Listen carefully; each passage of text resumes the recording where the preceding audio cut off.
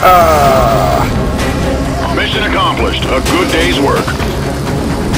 stuck in an elevator?